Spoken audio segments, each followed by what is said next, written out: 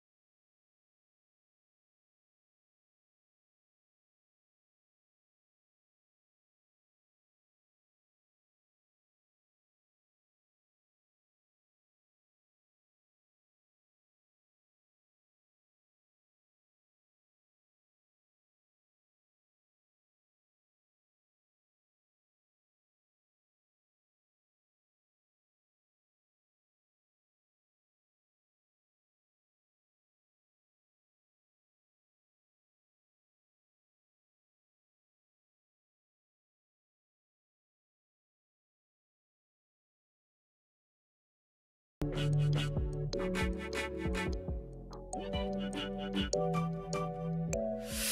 go get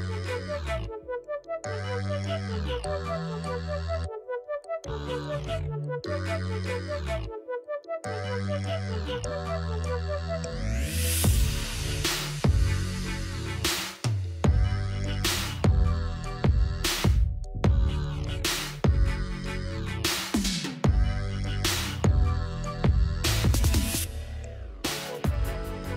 I'm going to be using my Sherie Monai lashes in the style Female Hustler. So bomb. Link will be in the description. I do use hair glue. Yes, hair glue. I don't like the way eyelash glue sticks to me. It doesn't stay long enough. Eyelash glue is just not it for me. I've been using hair glue since high school and it ain't never did your girl no wrong. It just gives me a different type of hold than lash glue. But what about you guys? Eyelash glue or hair glue?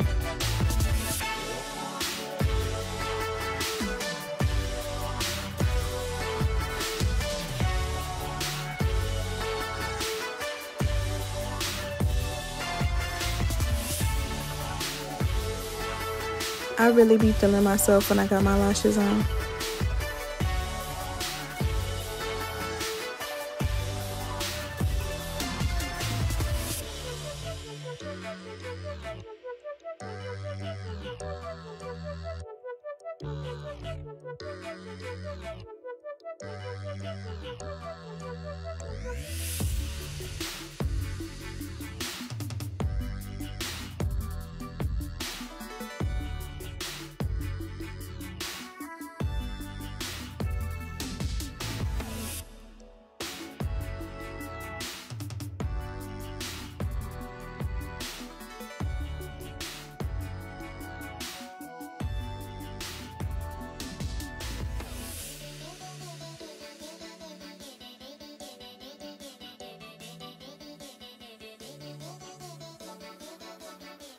Make sure you like, comment, and subscribe, and follow us on Instagram. And also, go copy some Sherie Monai.